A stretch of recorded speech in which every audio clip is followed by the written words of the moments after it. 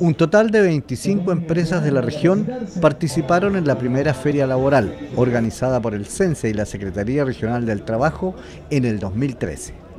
En la oportunidad se ofertaron 1.100 puestos de trabajo en distintas áreas de la producción regional.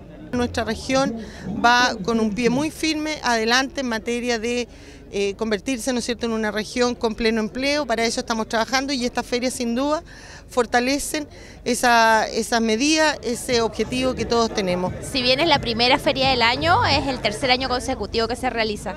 Eh, es importantísimo poder acercar el mundo privado y público a los trabajadores y a aquellos, sobre todo a aquellos que están buscando empleo. Conectar en definitiva la verdadera oferta, ¿no es cierto?, programática que tenemos en capacitación con las verdaderas necesidades de las empresas y es conectar la oferta con la demanda. En términos de capacitación, CENSE ha potenciado la formación especializada incorporando a mujeres.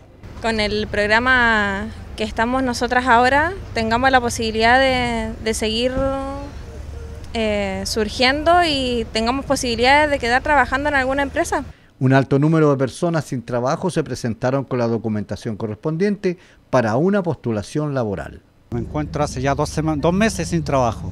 Estoy viendo una buena oferta laboral acá y vamos a ver cómo los va. Pero es mucho más ordenado con lo que me he encontrado en otras regiones como en Calama, es muy desordenado, acá al menos una mejor atención. Muy importante y no, no estamos nosotros así como un trabajo como, como este. Y lo agradecemos bastante porque es muy importante para la ciudadanía en general. Estábamos de paseo con mi esposo, así que nos dimos cuenta que iban a feria y estoy postulando encuentro una buena alternativa.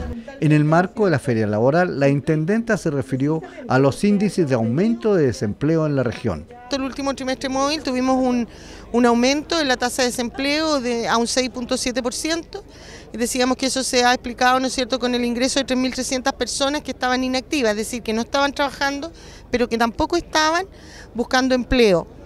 Es de esas 3.300 personas, 1870 ya buscaron, ya encontraron trabajo, nos queda la diferencia, eso explica de alguna manera esta alza, pero esto debiera tender a normalizarse en los próximos dos o tres trimestres móviles.